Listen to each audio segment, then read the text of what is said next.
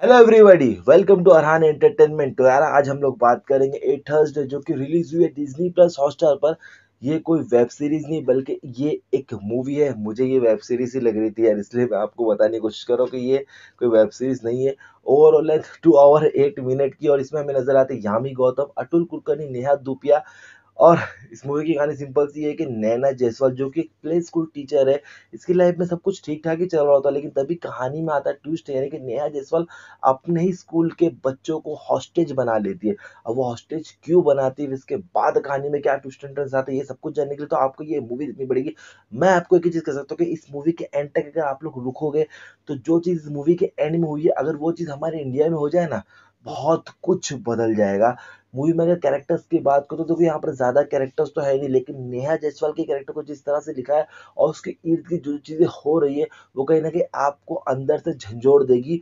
झंझोड़ने से याद है कि मूवी में इमोशनल पार्ट्स है, वो काफ़ी ज़्यादा तगड़े हैं और कहीं ना कहीं एक मोमेंट ऐसा आएगा जहाँ पर आपके आँखों में आँसू आ सकते हैं। मूवी में डायलॉग्स बहुत अच्छी तरह से लिखे गए और अगर सिनेमेटोग्राफी की बात करें तो देखो यार दो घंटे की मूवी होने के बावजूद भी आई थिंक कुछ सीन्स ऐसे जो ज़बरदस्ती के स्ट्रेच कर रहे थे, जो कि नहीं करना चाहिए था, उसके अलावा मूवी में एज ऑफ़ द सीट वाला मज़ा नहीं आता, क्योंकि एज ए व्यूवर जब आप लोग इस पर्टिकुलर मूवी को देखते हो तो आधे घंटे बाद आपको ये रियलाइज़ हो जाता है कि कहानी किस तरह से आगे बढ़ने वाली है। तो जो एज ऑफ़ द सीट वाली बात है ना, वो यहाँ पर फील नहीं होती, लेकिन फिर भी आप लोग उसके एंड तक इस मूवी को ज़रूर देखते हो, क्योंकि आपके अंदर वो क्यूरियसिटी होती है कि भाई एंड में आखिर बताने क्या वाला लेकिन कहीं ना कहीं आप थोड़ा बहुत प्रिडिक्ट कर लोगे ऐसा मुझे महसूस हो रहा था। मूवी में हमें सोशल कॉमेंट्री भी देखते हुए मिली और साथ साथ मीडिया वाले टीआरपी को लेकर किस हद तक गिर सकते हैं, वो भी बहुत अच्छी तरह से बताया। और जिस तरह से सोशल मीडिया का इस्तेमाल किया, इस पूरी मूवी में देख कर मज़ा आता है।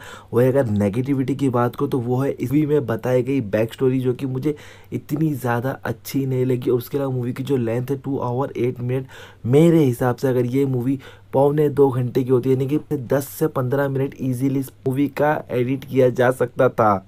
बीजेम अच्छा है एक्टर्स के परफॉर्मेंस की बात करो तो भाई यामी गौतम ने बहुत ही तगड़ा परफॉर्मेंस किया अतुल कुलकर्णी सर ने भी अपने रोल को बहुत अच्छी तरह से निभाया। नया दुपिया की बात करूँ तो इट्स हर्ड चॉइस उस पर कोई कमेंट नहीं करेंगे। उसके अलावा डिम्पल कपाड़िया मैम का भी यहाँ पर परफॉर्मेंस मुझे अच्छा लगा। ओवरऑल एक्टिंग वाइज कोई भी आपको निराश नहीं करेगा। डायरेक्शन भी अच्छा लगा स्क्रीन प्ले भी अच्छा है।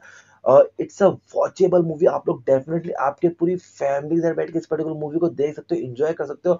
और हाँ जो चीज़ें इस पर्टिकुलर मूवी में बताई है उससे आप लोग कितने सहमत हो तो क्या वो सारी चीज़ें होना चाहिए रियलिटी में भी। ये कमेंट सेक्शन में ज़रूर बताना। तो यार, बस इस वीडियो में इतना ही। मैं इस पर्टिकुलर मूवी को रेटिंग दूँगा eight point five out of ten तो मिलते हैं नेक्स्ट वीडियो में। चल बाय